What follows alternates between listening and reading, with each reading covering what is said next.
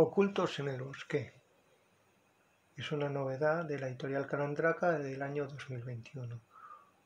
Este libro de Misumasano es una preciosidad de libro de ilustración donde vemos escenas de bosques. ¿Por qué se llama ocultos? Pues por algo muy sencillo.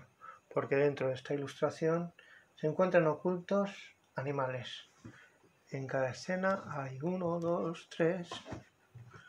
No me acuerdo cuántos hay, pero lo vemos en la última página, que nos explica, para que no nos perdamos, eh, página a página, qué animales hay. Por ejemplo, estamos viendo en la página 2, 3, grulla, coronada, rinoceronte, lince y ardilla las dos primeras páginas.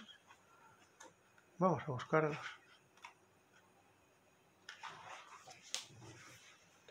Aquí tendríamos que ver la grulla. La grulla, por ejemplo, por ejemplo, está aquí.